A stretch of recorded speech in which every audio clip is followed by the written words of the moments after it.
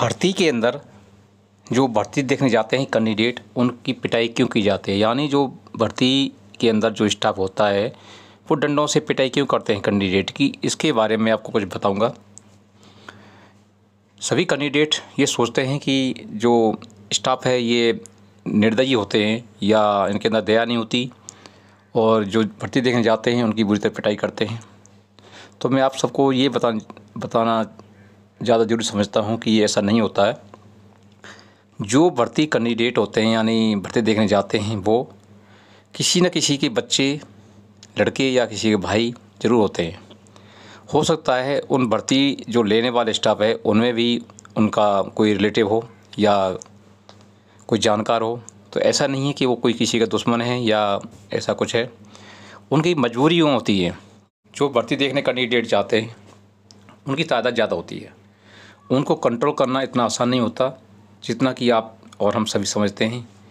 इसीलिए कैंडिडेट के अंदर थोड़ा भय दिखाना ज़रूरी होता है। वो कहते भी हैं कि भय बिन प्रीत हो नहीं देवा, लाख करो बैरी की सेवा। यहाँ पर बैरी मतलब होता है दुश्मन से, जबकि दुश्मन नहीं है वो।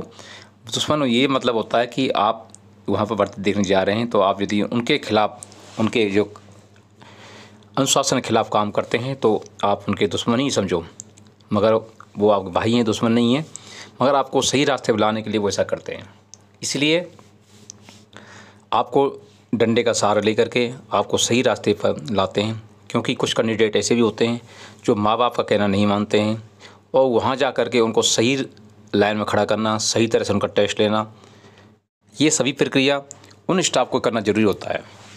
इसीलिए आप लोगों पर, यानी उन कैंडिडेटों पर भर्ती देखने जाते हैं तो डंडा का सहारा लेना ज़रूरी होता है। दूसरा, एक इसमें ये भी पॉजिटिव ये भी है कि आपके अंदर सहनशीलता देखी जाती है, कि आप भर्ती के दौरान थोड़ा या कठिन काम मिलने पर आप कहीं ट्रेनिंग छोड़कर भाग तो नहीं जाओगे। ये भी आप एक तरह का, एक तरह का आपको ट्रेनिंग ही है, क्योंकि आप ये हताश ना हो, आप डीमोरल ना हो कि आप फौजी आप लोगों को पिटाई करते हैं या डंडा उठाते हैं, ऐसा नहीं है। वो अपना ड्यूटी सही तरह से निभाने के लिए और आपका भर्ती प्रोग्राम सही तरह से करने के लिए ऐसा करते हैं। इसलिए आप माइंड ना हो और इसके बारे में गलत ना सोचें, ना किसी को भ्रमित करें। Thank you, bye bye.